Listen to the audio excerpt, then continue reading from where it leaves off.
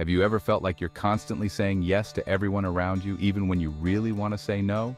You're not alone. Today, I'm going to dive into how you can stop people-pleasing, heal from it, and ultimately become a better version of yourself. First, let's talk about why people-pleasing is such a common issue. Many of us grow up believing that making others happy is the key to being liked and accepted. But here's the catch.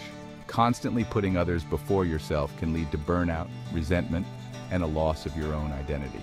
So, how do you break free from this cycle?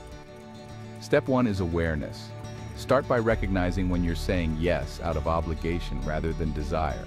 Ask yourself, am I doing this because I want to or because I feel I have to? Next, practice setting boundaries. This might feel uncomfortable at first, but it's crucial for your well-being. Remember, saying no doesn't make you a bad person. It simply means you're valuing your own needs and time. Try this. The next time someone asks you for a favor, take a moment to consider your own priorities before responding. Now let's talk about healing. People-pleasing often stems from a fear of rejection or a need for approval. Realize that doing things simply for others' approval is actually a form of manipulation. That might sting a bit, but don't worry. We know you didn't mean it in that way. Being truthful about your underlying intentions can help you free yourself from the bondage of subconscious behaviors.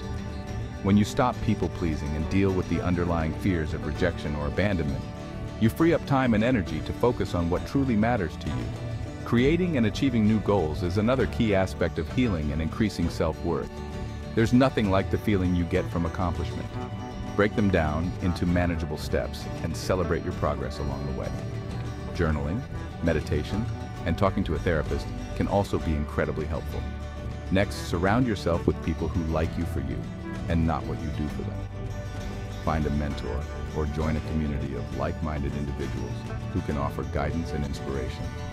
Breaking free from people-pleasing requires awareness, boundary setting, and self-compassion.